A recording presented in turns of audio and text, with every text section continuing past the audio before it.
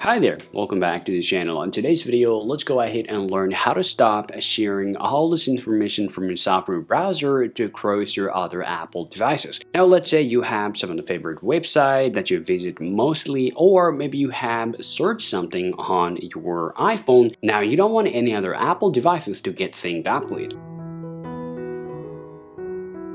If you want to turn it off, you have to follow one little things. All you gotta do is just simply get out of here now in order to head over to settings and you want to scroll down here and find out the Safari browser. So you have to tap on there and after that you want to scroll down here you will see this option called share across devices. Now it says setting for websites. So if you disable that what's going to happen here everything you're going to search or every website that you're going to visit it's going to remain only with your iPhone and that's how you can stop sharing all this information from your Safari browser. Hope you found this useful. If you think so, leave a like and subscribe to the channel. Thank you for watching and I'll talk to you later. Peace out.